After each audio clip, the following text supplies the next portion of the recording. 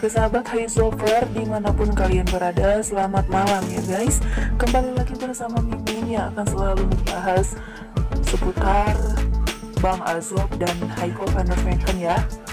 Yang di mana sekarang pastinya Haiko van der Vecken Sedang bersenang-senang ya menikmati liburannya bersama keluarga tercinta tuh guys. Dedi, Mumu bersama oma dan opanya juga tuh guys. Pastinya Neng Koko sekarang lagi menikmati liburan banget ya sahabat. Semoga Haiko van terus bahagia sampai kapan pun dan alhamdulillah banget ya ternyata Mumu dan Dedi akhirnya bisa membuat Haiko van der Vecken kembali tersenyum sumringah setelah liburan ke Singapura ya sahabat. Mungkin karena Neng Koko penat ya bekerja terus dan pastinya kerjanya siang dan malam tuh guys. Jarang ada liburnya pastinya tuh. Jadi sekalinya liburan Neng Koko keluar negeri ya guys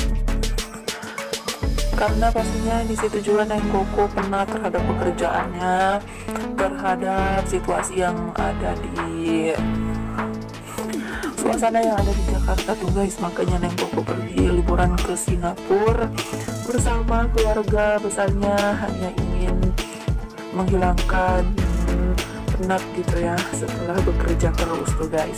Apalagi sekarang hubungannya bersama Rangga Azub sedang di uji banget ya guys. Katanya mereka ini memang benar-benar putus tuh sahabat.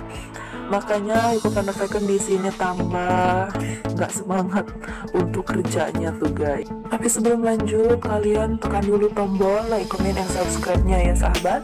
Agar kalian tidak tertinggal informasi dari si Neng kesayangan kita ya idola kesayangan kita yaitu Haiko Van der Vecken tentunya juga bersama Rangga Azob Nah kali ini Mimin ada kabar berita yang bikin bahagia banget nih sahabat Ternyata Haiko Vecken akan segera satu project bersama Abizar tuh Kalian pernah dengarkan dulu kalau beredar kabar katanya Neng Koko akan satu sinetron bersama Abizar yang berjudul Serpihan Mutiara Retak tuh guys.